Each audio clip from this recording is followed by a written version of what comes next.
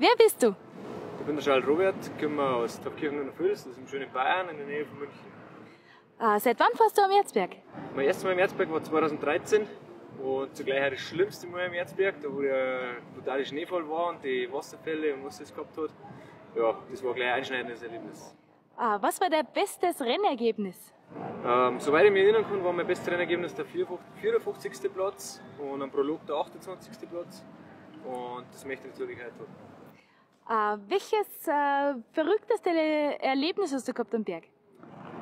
Also ich muss ganz ehrlich sagen, das ganze Event ist ziemlich verrückt. Ähm, es ist einfach Ausnahmezustand, das ganze Wochenende oder die ganze Woche, was man da ist.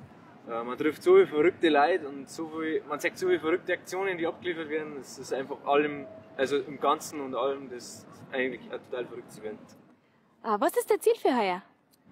Ähm, auf alle Fälle, wie ich vorher schon erwähnt habe, mein, mein 54. Platz toppen, also mindestens unter die Top 50 fahren. Und wenn ich einen guten Tag habe, dann war natürlich ein Zielankunft schon mal ein Highlight. Sehr gut. Bist du ein Partytiger oder Rennstreber? Also gehst du vorher fort? Ähm, ja, früher mehr.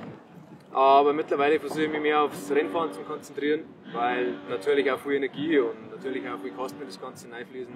Und ja, von dem her mehr Party, äh, mehr Rennstreben. Das heißt, äh, am Sonntag dann noch ein Rennen, dann geht's?